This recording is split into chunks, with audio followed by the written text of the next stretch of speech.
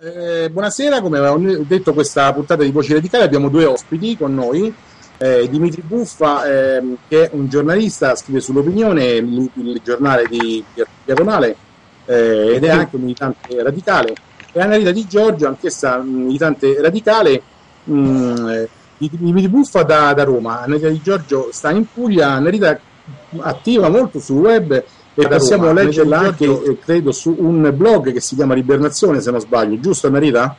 Giusto. Perfetto. Allora, eh, fatte le rapide presentazioni, abbiamo una mezz'oretta più o meno eh, per fare qualche considerazione abbastanza generale, mh, mm, ma neanche tanto, insomma, più che generale conclusiva su questa campagna elettorale che fa concludersi. Una campagna elettorale che ha visto in qualche modo scendere o salire a seconda delle opinioni in campo, partendo così da uno spunto per, per, il, per il, dibattito, eh, il, ministro, il, il, Presidente del Consiglio che in qualche modo da eh, tecnico, se tecnico era, si è comunque dovuto eh, consacrare alla politica totale perché insomma scendendo nella, o salendo nella campagna elettorale ha dovuto fare il politico e essere politico. Ecco, mh, mm, come vi è sembrata questa, questa trasformazione, se questo, si tratta di trasformazione? E Anna Rita, il video ci sta, partire appunto, appunto con te, eh, a te la parola. Guarda, oggi ci riflettevo, no? pensando al fatto che comunque abbiamo un senatore a vita che si candida praticamente alla presidenza del Consiglio, che è capo della coalizione. Ci sono state, insomma, altre volte è successo, però in effetti è, è, molto, è molto strano proprio perché ecco al di là di Monti, governo tecnico e tutto il resto però la cosa grave secondo me è proprio il fatto che lui fosse, fosse senatore a vita per cui va un po' a inficiare, a inficiare questo ruolo. E credo che poi Pannella non lo faranno mai senatore a vita se insomma questi sono, sono i, loro, i loro standard. E per cui sì ecco magari non ci pensiamo più, no? A oggi che andiamo a votare, a tutto quello che è successo in questi anni, come magari non ci pensiamo a tutto quello che è stata insomma, la storia di, di, di Berlusconi, di, di uh, Rubygate e tutto il resto, come siamo arrivati a questo punto, come se ci fosse stata una tabula rasa e una campagna elettorale morta in cui, ecco quello che dicono i radicali, no? la partitocrazia e il fatto che sono tutte le, la stessa gamba del regime, che tra di loro eh, si sono voluti bene, diciamo così, in questa campagna elettorale, non si sono attaccati, sono stati tutti abbastanza sereni e, mm, e questo insomma, no? non, hanno tutti, quanto, tutti quanti dimenticato il passato, quello, quello che erano. Ok, eh, Dimitri, a te, come ti è sembrata la cosa? Guarda, io ho scritto più volte che questa era una campagna elettorale da film dell'orrore perché mh, avendone vissute un'altra, un minimo 7-8 da persona maggiorenne, cioè dal 78 a oggi, pertanto per capirsi, e avendo potuto constatare la demagogia della partitocrazia sia della prima che della seconda repubblica che nelle varie fasi di transizione dopo il sequestro Moro anche prima perché comunque avevo 17 anni eh, una merda simile non era mai capitata ma era esattamente lo specchio di quello che eh, è ridotto il paese la cosiddetta peste italiana. In effetti eh, le, le, le idee nuove che da tanto tempo eh, Pannella cerca di fare entrare in qualche maniera, ora hanno trovato questo nuovo cavallo di Troia che è Beppe Grillo, che però le veicola in maniera un po' eh, a volte anche pericolosa, poi non sono esattamente coincidenti, ma ce ne sono alcune, soprattutto per quello che può riguardare, non so, la generazione di internet, eh, anche la legalizzazione delle droghe di cui lui ha parlato, e una serie di cose che sono condivisibili, anche un rapporto diverso tra la burocrazia, soprattutto quella fiscale, e il cittadino, cosa che ci avrebbe legato in qualche maniera pure alla lista di Giannino, eh, che poi ha avuto questa finale a sorpresa, anche se io comincio a pensare che, fo- che sia stato congegnato a mo' di gioco delle parti, perché gli ha dato talmente tanta visibilità mediatica che chissà che poi la gente non lo voti per davvero perché certo è difficile credere che una persona del suo livello possa soffrire di un complesso di inferiorità tale che lo porta a mentire come una escort di Berlusconi, di quelle che se le compra i master falsi, perché poi alla fine parliamoci chiaro, anche i master più prestigiosi sono delle lauree a pagamento, che se tu vai al, al, al boot di Chicago del de Zingales, che sei già laureato, butti lì 25 mila dollari, il master te lo prendi a meno che non sei un cerebro leso. Per cui uno come Giannino è, è esattamente la, la, la, lui si doveva fare un vanto di non avere un titolo di studio. Come posso farmene un vanto pure io che non ho un titolo di studio ma ho una preparazione in vari settori che non è proprio da buttare via. E la gente invece ha spesso il titolo di studio e poi sotto il, il titolo niente praticamente. Vi do la notizia che sta iniziando a parlare Grillo che potrebbe non essere parlato? Io non ho seguito. Chi ha parlato se non parla Grillo là? Eh, hanno parlato prima della rockstar della politica, tutti i gruppi d'appoggio che devo dire che erano delle spalle anche un po' noiosette. È come sentire prima dei Rolling Stones una cinquantina dei X Factor, sai che palle. Però eh, insomma hanno parlato i suoi candidati. Diciamo è servito un pochino per far riempire la piazza, avete il tempo per far riempire la piazza in qualche eh, modo. La piazza è bella piena, eh? No, beh, perché comunque è veramente un punto interrogativo. Cioè, secondo me, davvero stiamo andando a votare Grillo, chi ci andrà ovviamente, che non è candidato, però non si sa nulla di, di tutti gli altri. È veramente un, un rischio, credo, no? Cioè, avremo, penso, più Ma guarda, venduti un rischio di continuare a votare per Berlusconi. Eh? Cerchiamo no, di non accappare. Penso che sia l'unico segnale possibile da dare in una... Io per esempio mi sono fatto quest'idea, voto alla Camera Pannella, poi voto Pannella, di nuovo c'è la lista Amnistia, Giustizia e Libertà, anche alla Regione Lazio, perché là se non, se non riesce a raccogliere manco lì vuol dire che c'è qualche problema di cortocircuito comunicativo. Però al Senato, per esempio, voto Grillo, perché tanto al Senato la lista Bonino Pannella, manco se vie, eh, le meteoriti riesce a, fare un quorum dell'8%, no? Per cui mi faccio il voto utile per me stesso e siccome io voglio fargli saltare in aria tutto sotto il culo a questa gente, uso pure Grillo. Grillo è un taxi. Allora, eh, la tematica del taxi è una tematica abbastanza, eh, diciamo che, che, ha, che, è stata suscitato gioie e dolori in qualche modo, soprattutto in ambito radicale di recente.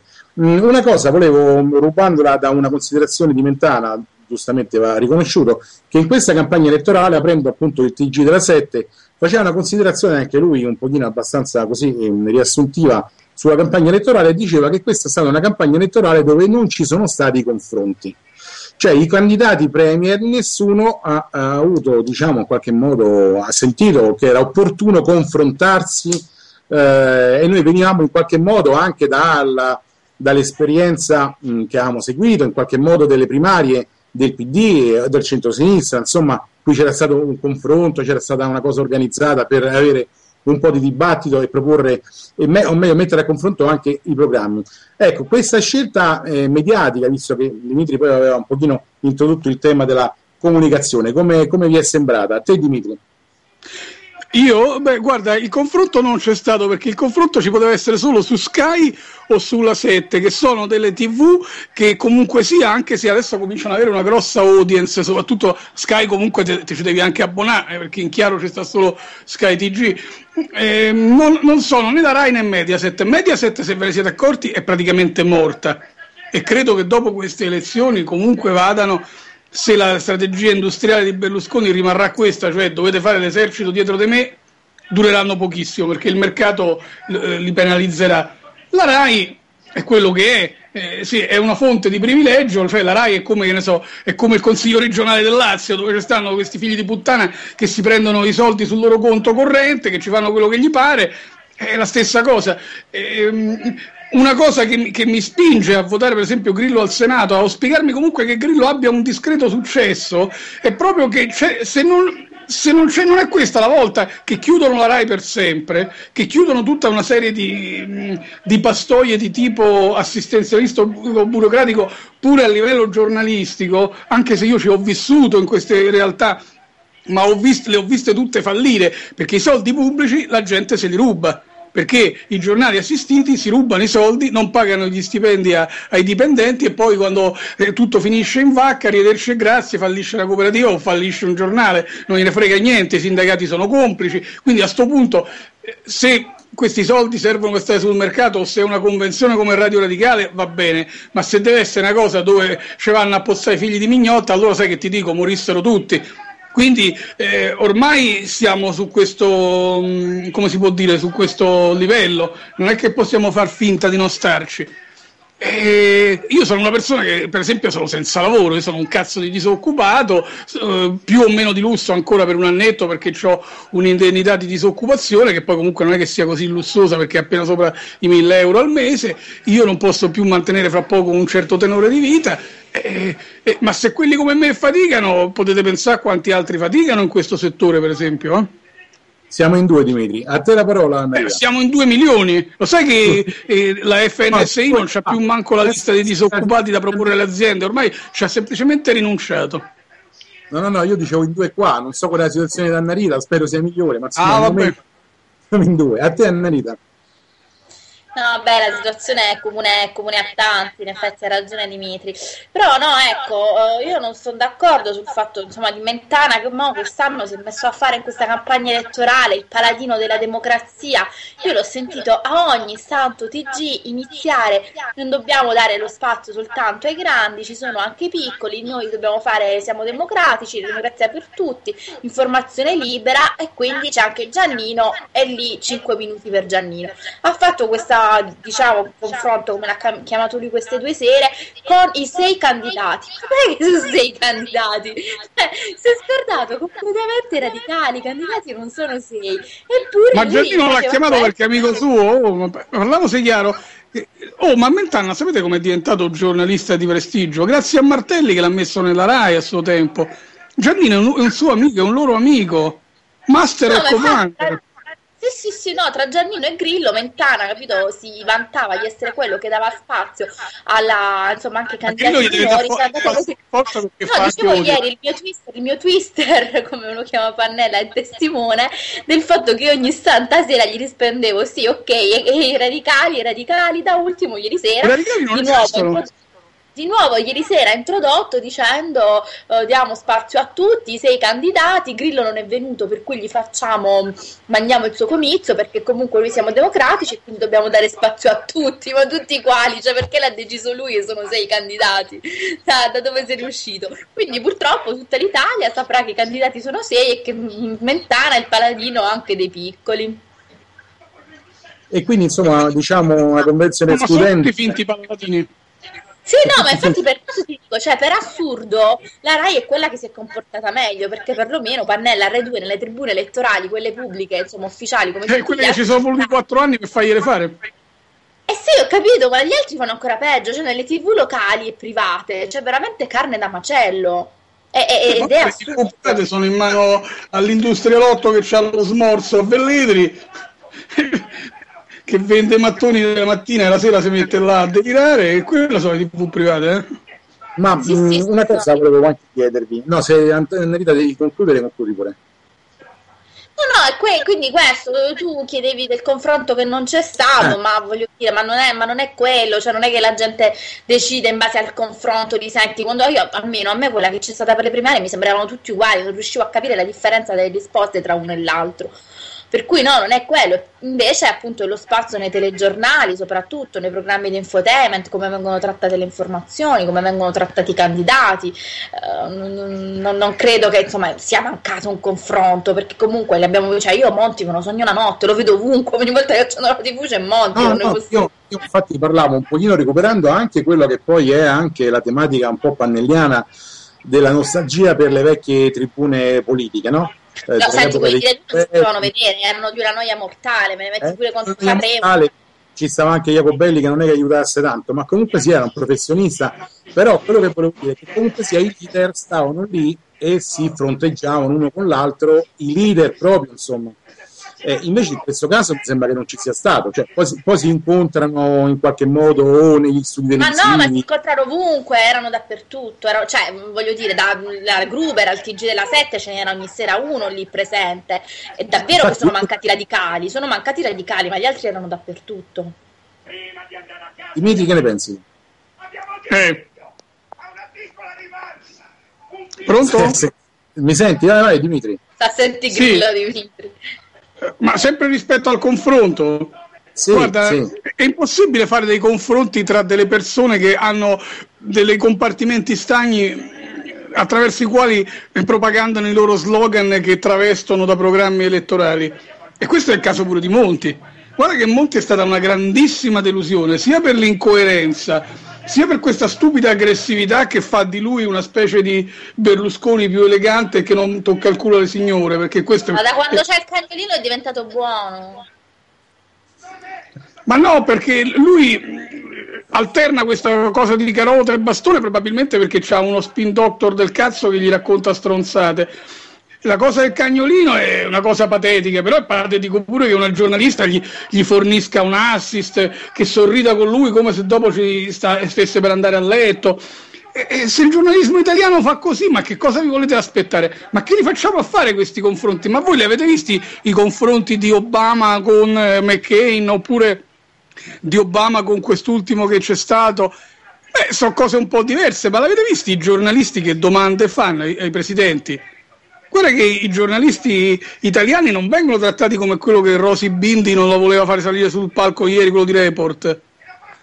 Accettare sì, questo. No, anche rispetto, rispetto, alla storia di oggi pomeriggio di Grillo che non ha fatto salire i giornalisti, ho detto ma ha fatto bene, cioè meno male, perché alla fine andavano là per vedersi per motivi di ordine pubblico. No, dicevo, ma se andavano là per vedersi lo spettacolo in prima fila, mica per fargli le domande, non gliene hanno fatte in cinque anni, tutto stasera gli devono fare domande. Ci sì, anche, questo, anche questa è una chiave di lettura, sì. Sì, mh, mm, però io penso, vabbè, sì, mh, mm, il fatto del confronto, quando parlo del confronto parlo della compresenza di più persone, poi è vero che la monopolizzazione purtroppo dei, dei, dei leader maggiori c'è stata, ma parlavamo appunto ovviamente di questa lista Ministro di Giustizia e Libertà che in qualche modo è stata emarginata, come sempre, insomma, noi radicali siamo abbastanza abituati a questa, a questa prassi. E, e I radicali sono i figli della serva della politica, non c'è niente da fare. La serva della politica. Eh, però appunto quello che volevo chiedervi, eh, secondo voi da un punto di vista, eh, per tutta la vicenda preelettorale che parte dal, insomma, partiamo da, verso fine novembre, insomma, eh, mh, abbiamo in qualche modo eh, agevolato come radicali eh, questa, questa, sorta di convenzione di escludendum oppure siamo esenti da qualsiasi tipo di, di, di colpa? No, guarda, i radicali non, non agevolano, no, cioè i radicali hanno una tattica di gioco, se si potesse fare il solito paragone calcistico, che mm, non funziona, non c'è niente da fare, si, si beccano un sacco di gol e si fanno troppi passaggi tra centrocampo e attacco prima di fare un tiro in porta, mettila così. Mm. Non c'è niente da fare. A noi proprio la, la, tattica comunicativa di Grillo ci dovrebbe insegnare qualcosa. Eh. Il problema è che andava fatto anche un po' prima, perché non sono più i gesti drammatici, gli scioperi della fame e della sete vanno benissimo per un filosofo, va benissimo, un filosofo che continua a essere eh, il grande filosofo eh, inascoltato o poco ascoltato della vita sociale italiana, ma non porta un cazzo di voto potrebbe portare qualche voto la storia di, per esempio di Rosso di Vita, perché quella è stata comunicata molto bene. Ci sono stati gli articoli di, di Rizzo e Stella, eh. e infatti non a caso lì, lì c'è stata la vera convenza ad excludendum, perché Zingaretti mica è matto che si metteva sti due cavalli di Troia dentro la coalizione, no? E Storace, che è furbo, la, la, ha subito fatto lo pseudo Voltaire italiano dicendo vi voglio lì dentro a farmi da opposizione in realtà sapendo che la cosa sarebbe stata di difficile praticabilità, che sarebbero insorti i, gli antifascisti o i fascisti degli, dell'antifascismo o quelli che, che come quando la, uno indica la luna eh, vedono il dito, e sapendo che la cosa anche tecnicamente era difficile, ma intanto lui ci ha fatto una bella figura e Zingaretti una figura di merda, il che fa sì che Zingaretti che stava sopra di 30 punti, magari adesso gli dà la possibilità di, di aversi una piccola chance, perché diciamo pure la verità che quando uno si gioca a Storace, che già ha avuto un passato che non è stato esaltante nella regione Lazio come amministrazione e come tutto, vuol dire che hanno deciso di non vincere. Anarita. Sì, vabbè, gli errori ci sono, ci sono sempre, però questa volta credo che non si parli tanto di errori quanto proprio di mancanza di volontà, almeno dico, dal momento delle firme in poi, ecco. Eh, mancanza, mancanza, di volontà, mancanza di, di, di voglia di, di affrontare una campagna elettorale non è stata fatta. Insomma, io certo, con 20.000 che... euro in cassa. Che, che, che... No, ma non è solo una questione economica, non, non, è, solo, non è, solo, quello, proprio di, di, di, presenza. Cioè, dopo due settimane che erano state raccolte le firme, io vedevo che ancora si stava là a discutere, oh, ma là in Piemonte perché non avete preso tu questo e tu quello? Io ho detto scusate, ma dove le abbiamo prese? Che cosa facciamo? Non si è visto nulla, cioè io ho visto molta molta più attenzione. Ora magari Regione Lazio, continuiamo a parlare della Regione Lazio, però tutti se ne strafregavano di quello che c'era nel resto d'Italia. Uh, per carità, Pannella oggi è andata all'Atronico, doveva fare la marchetta a Bolognetti, ok, però voglio dire che non cosa ci sta più il partito, il, un partito radicale in quanto tale, non c'è più, c'è un partito transnazionale e ci sono tutte queste realtà di galassia che vanno benissimo però vanno benissimo se, se, producono soldi iscritti, altrimenti diventa quelli che chiamavano i rimborsisti rimborsati. Eh? Sì, ma anche quelli che ci sono non, non hanno fatto niente, non, non, non c'è proprio stata mm, ma, ma manco una riunione no? a livello per dire no, cioè a me è arrivata visibilità durante Sanremo, che durante, durante, pure che fa questa gente? Di Sanremo, durante il sabato di Sanremo finale alle 11 di sera mi arriva, mi arriva una mail del Partito Radicale per fare la riunione lunedì pomeriggio sul Lazio, cioè con tutto il rispetto, sto a fare campagna in Puglia nazionale, tu mi mandi la mail per il Lazio, per le regionali eh, perché comunque non, insomma, non, avendo raggiunto le firme dappertutto si è, si è, mm, lasciato che tutto andasse in vacca così, quando invece secondo me era importante comunque lottare, cioè non, non è stato, ma per dire la cosa più stupida, Mentana ti fa una cosa del genere, cavolo ce li fai, no? La, campagna contro Mentana che invita tutti tranne te, per dire la più scema, che secondo me non si fanno così le campagne elettorali, però gli altri anni le facciamo così, facciamo quest'anno. Invece niente, stato fatto nulla di nulla. Quindi, sì, ma i giovani radicali, i giovani militanti, che sono pure tutta gente molto più preparata di sti grillini medi che ho visto parlare, no? Gente come so, come Annalisa De Chirico, come era Giulia Innocenzi prima di svoltare perché ha trovato Santoro così ha risolto i suoi problemi eh, esistenziali ed economici e tante altre persone, pure forse il sottoscritto o qualcun altro. Siamo della gente che campiamo come dei barboni. E e fare politica in questa maniera non esiste, perché non si può più fare come si faceva nella prima Repubblica, in cui il Partito Radicale era un partito che con un sistema proporzionale poteva arrivare a mettere quattro persone nel Parlamento e a un gran casino. Noi ci siamo riusciti questa ultima volta aggregandoci al Partito Democratico in quella maniera lì, che comunque ci ha trattato come delle, dei servi e che si è guardato bene visto che la Bernardini è stata la più brava delle deputate del Partito Democratico, quella che ha fatto la più attività più cose, eh, nessuno di loro li vogliono.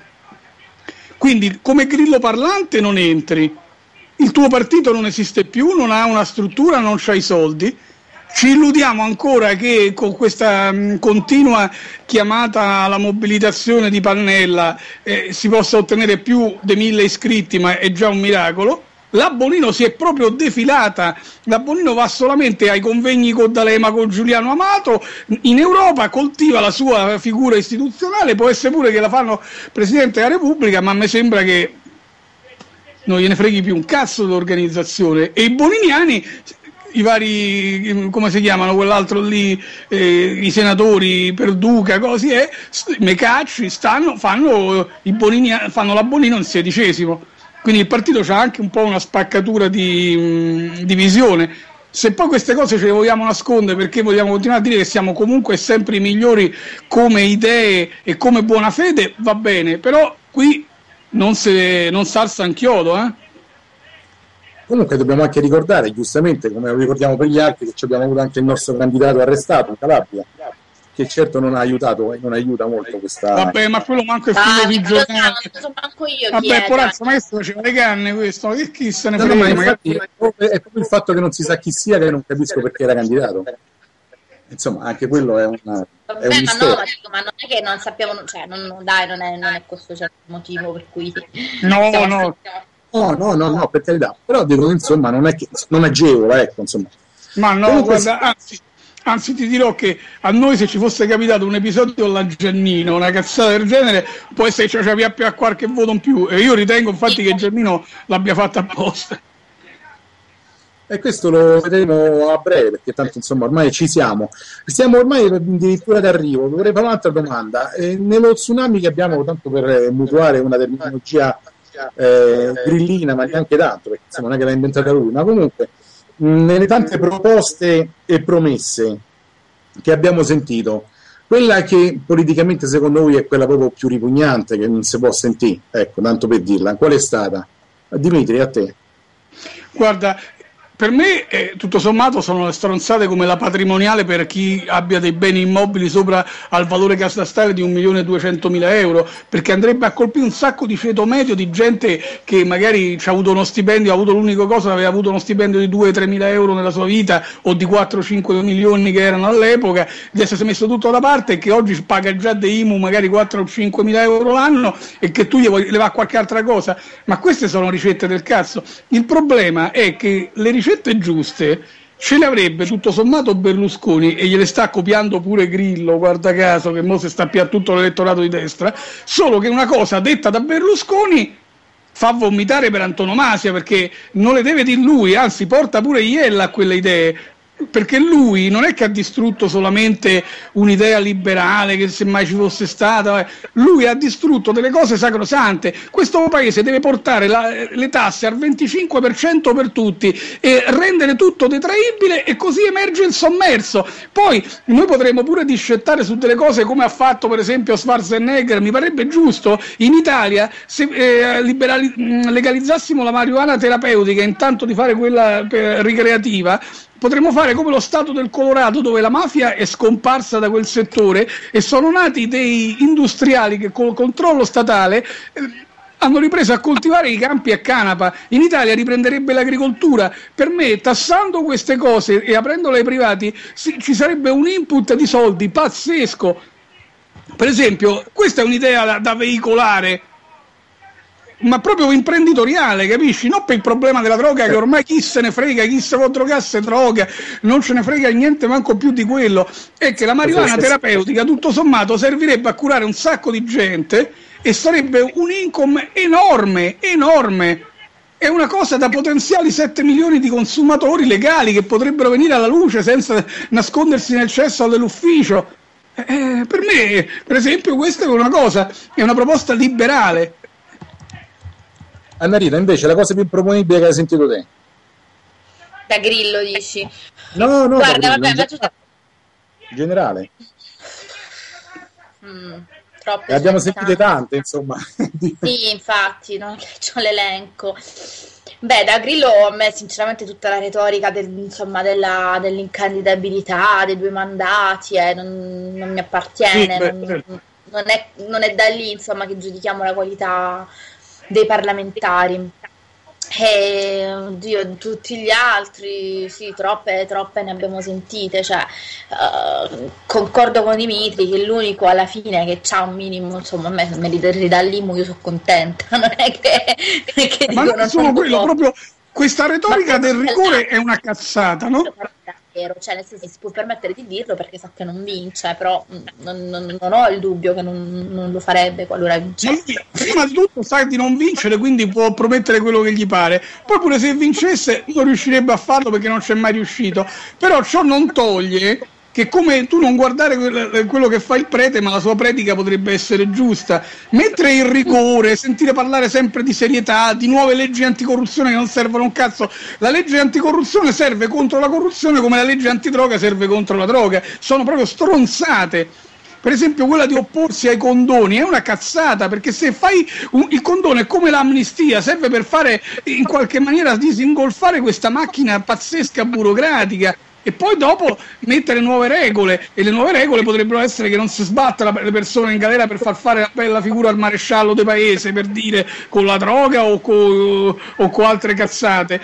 E una nuova regola sul fisco potrebbe essere quella che è inutile che mandi gli imbecilli lì a, a Cortina che poi quelli vanno a St. Moritz. Ma che cazzo è? Ma che lotta all'evasione è ma vai da Agnelli che c'ha un miliardo in Liechtenstein e già si sapeva da tre anni e ogni tanto gli tirano fuori questa notizia come nuova. Ma fai l'accordo con la Svizzera, ma vai, fai l'accordo con lo IOR, questi sono i soldi che devi far emergere. Ma legalizza tutto e, e sottrae cose alla mafia. No, io faccio la caccia all'idraulico al maestro di tennis, ma vaffanculo. Eh. Okay, Comunque, allora... per tornare alla vai, cosa vai. di prima, c'è, adesso c'è la Gruber che fa l'ultima puntata in chiusura prima delle elezioni con Renzi, la furba.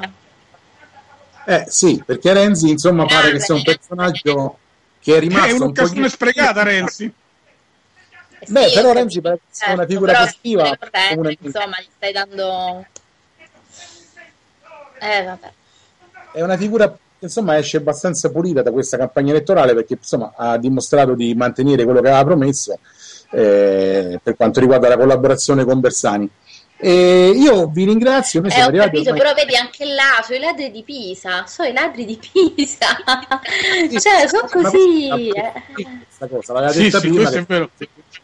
E lui avrebbe collaborato con. Poi qualcuno dice anche: Ma aspetta, sì, come devo dire sì. che, che scorre il cadavere sul fiume con la prossima che si, si dà poco tempo a questa, a questa a questo sì, Parlamento. Guarda, questo, è, questo, è vero perché sta legislatura durerà un anno e mezzo al massimo e poi se, se, il PD non si vuole suicidare di nuovo con la sua classe dirigente si levano tutti dal cazzo e mettono Renzi e allora forse si, si, si ragiona. Ma chi si leva? Ma chi si leva? Chi si leva?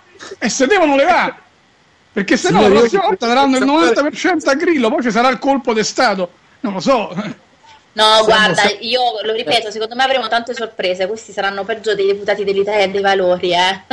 Finiranno Siamo tutti con. No, non credo, sai, io non credo a questo invece. Eh, Liberi TV dopo le elezioni faremo commenti. che ve l'ho detto, eh? poi fra un anno ci vediamo. No, beh, Tutta è una cosa che andrebbe, sarebbe quasi normale e scontata che fosse così, ma non credo che sarà così lo vedremo e comunque su Liber TV ne riparleremo eh, e vi non al 5% perché l'Italia dei Valori è stata così il 100% staremo a vedere. Io vi ringrazio di questa collaborazione di questa partecipazione. E ovviamente ne parleremo dopo le elezioni vedremo di organizzare anche un dibattito a quattro eh, che chiamiamo un Libri al Pub e vedremo un pochino di rimettere su appunto una discussione sui risultati di queste elezioni Sentitemelo se magari mi metto all'altra casa dove ho il, lo, lo, Skype con la telecamera perché qui non so perché non, non vogliamo vedere. D'accordo Dimitri, grazie ancora a Dimitri Buffa, Narita Di Giorgio, la lista di nuovo alla regia. Ciao, grazie. Ciao, ciao, ciao.